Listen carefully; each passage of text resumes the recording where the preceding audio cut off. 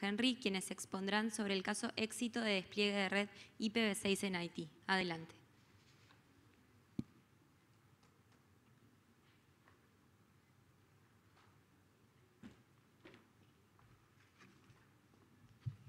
Thank you. Um, good afternoon. Uh, I will take a few minutes to uh, put some context on these uh, activities. So we are talking about the deployment of IPv6 at two, with two internet, small internet service providers in Haiti. But I would like to take a few minutes to, um, to explain the context of, of this project. So these activities are part of the IT Goes Global initiative. It is a project initiated by um, LACNIC. The, the first edition took place in 2013, and uh, initially it was about building capacity, uh, doing training, technical training in the field of network management using open source and Linux tools, and um, uh, wireless technology, voice over IP, network security, um, etc. So that was in the, the first two editions in 2013 and 2014. And then in 2016, we did two um, training on IPv6 deployment and also um, prototype, uh, rapid prototyping uh, using 3D techniques. So during the trainer program, the idea was to, to train um, 20 to 30 participants with the idea that they would replicate those, those training at their respective academic institutions.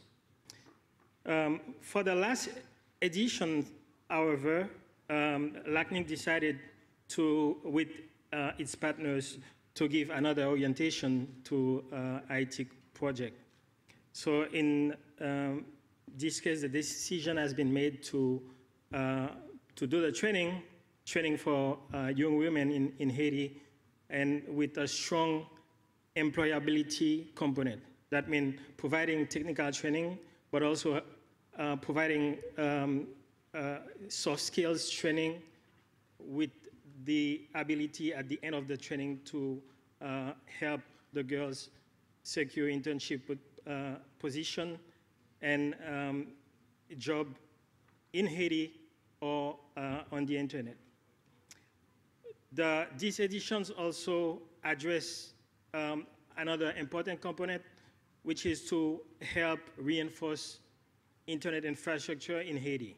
And for this component, we put the focus on uh, helping the existing internet exchange point in Haiti and also uh, helping uh, two ISPs to uh, deploy IPv6. These are a few partners of, of the project.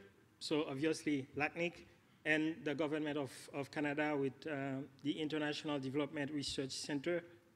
Uh, we have also two partners located in Haiti, AZ and Transversal, and the Caribbean Open Institute, who is responsible of developing part of the content for the training, and uh, free by free design and slash roots for the aspect linked to monitoring and evaluation uh, of the project. So as I mentioned, one of the most important components of the IT Goes Global project is uh, helping reinforce the uh, local internet infrastructure in Haiti, um, or the ICT cluster. Um, this initiative is not only um, helping with the internet exchange point and also deployment uh, IPv6, we have taken the opportunity as well to invite experts from the LAC region and from Africa to, to present experiences and share best practices um, regarding development of IPv6 in internet in the LAC region and also development of internet and internet exchange point in the African region. So I will leave the floor now to Alejandro Acosta, who was in, in Haiti um, to work with uh, some ISPs uh, helping uh, deploying IPv6. Alejandro. Hola, hola. Bueno, buenas tardes. Ya estamos en la recta final del evento. De verdad que me, contenta muchísimo lo que Max acaba de hacer. Estuve exponiendo en inglés con las láminas en español. De verdad que me encantó eso. Muchas gracias por el esfuerzo, Max, en ese sentido. Bueno, me toca entonces un poquito conversar sobre un trabajo que particularmente hicimos este año. Ya en repetidas oportunidades en la CNIC hemos estado en Haití y este año fuimos como que un paso más allá, dentro de dos proveedores específicamente de Haití y básicamente lo que queremos es aquí explicar un poquito qué fue lo que hicimos con ellos, cuál fue nuestra experiencia. Y bueno, ya en varias oportunidades, y muchos de los que están aquí se habrán dado cuenta, la CNIC trabajamos con, con ustedes, con muchos de los miembros que están acá. Claro, cuando uno dice trabajar, ciertamente siempre existe una distancia entre el proveedor, la CNIC, cuando ustedes necesitan una ayuda, espero yo que no equivocarme, siempre le hemos extendido una mano, estamos con todos, pero nunca tocamos la mano de un equipo, nunca nos metemos en un enrutador, en un firewall, en un sistema operativo, nunca llegamos hasta allá, ¿no? Y bueno, esta vez queríamos ir un pasito más allá para avanzar en la implementación de IPv6 de algunos proveedores. Aquí básicamente lo mismo que yo había dicho en esta lámina, no lo hemos hecho antes, sí, pero no habíamos tocado la, red. Aquí digo, coloquialmente no le metemos la mano a los equipos del cliente. Si es riesgoso, eh, no estaba seguro si poner esta lámina en esta presentación, siempre va a existir un riesgo. Básicamente aquí el riesgo, el temor es que uno vaya a, a, una red, probablemente intentemos trabajar sobre un router, sobre un firewall, sobre un switch, y al día siguiente la nevera, el freezer no funciona y digan, ayer estuvo la CNIC aquí, hizo unas configuraciones, es culpa de ellos. Entonces, claro, e, e, ese pedacito donde puede existir un riesgo, eh, afortunadamente en esta oportunidad creemos que todo salió muy bien. Que si vale la pena hacerlo, me refiero a trabajar con, la comunidad más de cerca. Creo que sí vale la pena, pero bueno, siempre hay que hacerlo con muchísimo cuidado y obviamente siempre alineados a cuáles son los ideales de, de la CNI, que muchos de ustedes ya lo conocen. Vamos a, vamos a mencionar dos trabajos que hicimos este año. Trabajamos con dos proveedores en Haití. Uno se llama Access Haiti, el otro se llama Haiti Data Networks. Son dos proveedores. El primero, en lo, en lo personal, fue, en los dos fue un placer haber trabajado pero el primer proveedor es mucho más grande quizás de lo que yo me esperaba. Tienen muchísimas localidades dentro de Haití, tienen varias redes, tienen equipos de última tecnología, tienen personal muy calificado. Para mí fue un placer trabajar. El segundo es más o menos lo mismo, pero es una red mucho más chica, ¿no? Ya, ya, lo, ya lo veremos a lo que yo me refiero. Los trabajos que hicimos en Access Haiti, los voy a resumir para no leer esta lámina completa, que puede dar un poquito de fastidio ya ellos tenían, y aquí me interesa porque sé que hay gente de Google, tenían eh, un prefijo anunciado ya, y cuando empezamos a hacer trabajos sobre ellos, interesantemente no podemos alcanzar, por ejemplo, Google y YouTube, ¿no? Entonces, bueno, cuando vimos qué era, nos extrañó, podíamos alcanzar todo, por ejemplo, los sitios web de, de la CNIC, un montón de sitios en, en, en IPv6, etcétera, pero particularmente no alcanzábamos las redes de Google. Cuando abrimos un ticket con uno de los OpenStream providers que ellos tenían, nos dijeron que era un problema, que era algo de facturación, que bueno, que había que trabajar con ellos. Tuvimos la fortuna de que este mismo proveedor, eh, Access Haiti, tiene, este ISP tenía tres proveedores. Y bueno, afortunadamente el mismo prefijo lo pudimos anunciar por los otros proveedores y empezamos a tener alcance con, hacia Google y, habiendo dicho eso, hacia el resto de Internet. ¿no? Eh, bueno, como lo está diciendo, es una red bastante moderna, tenía iOS XR, tenía buenos switches, tenía redes JPON, eh, bastante, ¿no? Eh, tuvimos que hacer algunas cosas con enrutamiento estático, con BGP, interesantemente con EIGRP, eh, y logramos incluso pasar por toda la red JPON hasta llegar a, la casa, a, simulando ser un cliente, ¿no? Todo eso fue muy bueno. hicimos unos buenos trabajos con la parte de DNS, incluimos, incluimos Ubuntu, Fedora, Unbound, Vine, y un firewall, que básicamente no quise mencionar la marca. Con el mismo cliente hicimos un IPv6 address plan desde que llegamos. De hecho, al final de las láminas hay una que otra foto. Eh, y bueno, tuvimos que, hacer un, contacto con Cisco porque había un comportamiento no muy esperado eh, con la gente de Cisco. Afortunadamente nos contestaron muy bien y bueno, pudimos, pudimos solucionarlo. Y como comentario dejamos un DHCP server eh, IPv6 instalado.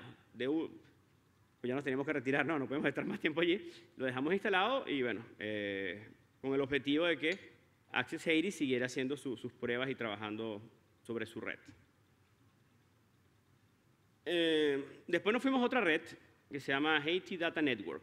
Este es mucho más corto.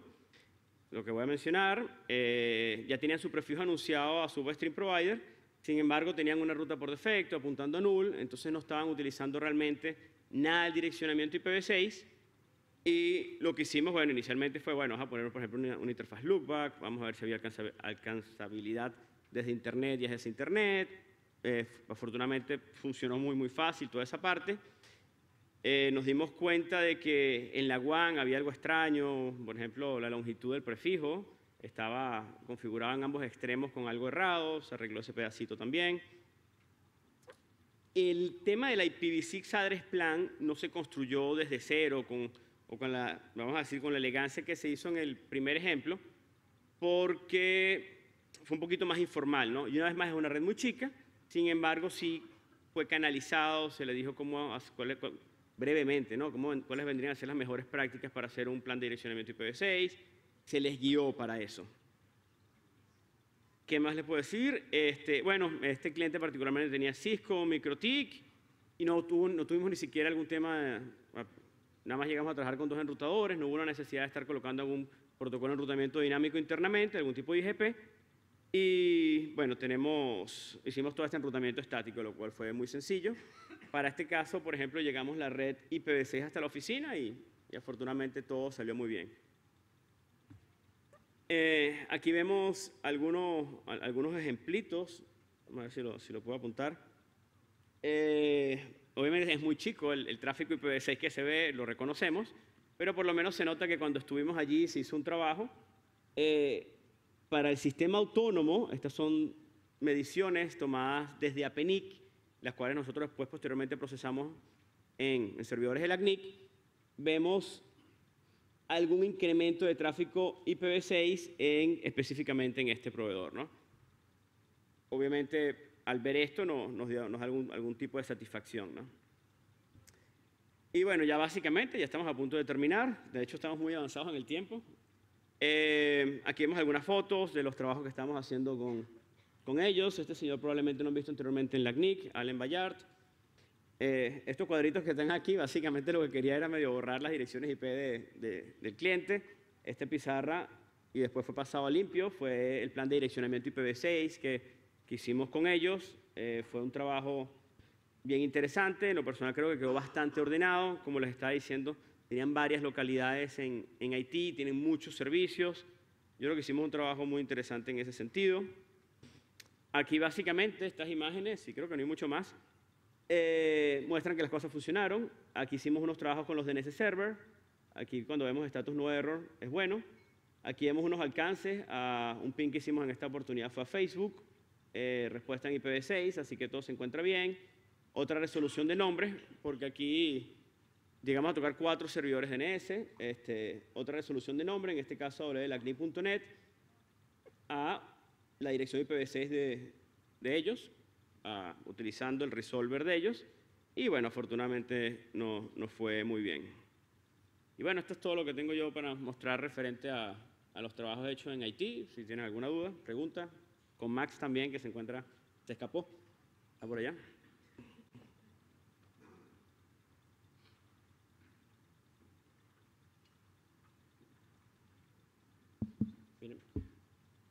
Hola Alex, Arturo de Google.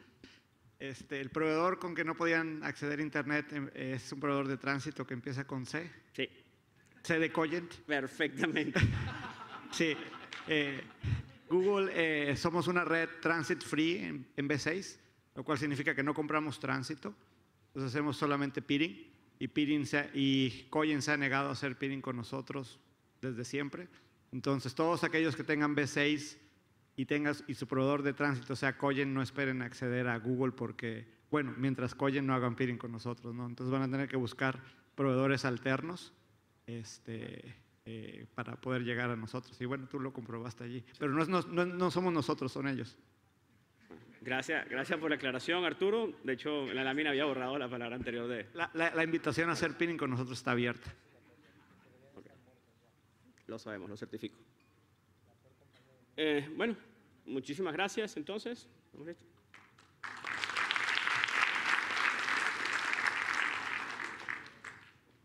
Gracias Alejandro y Max. Invito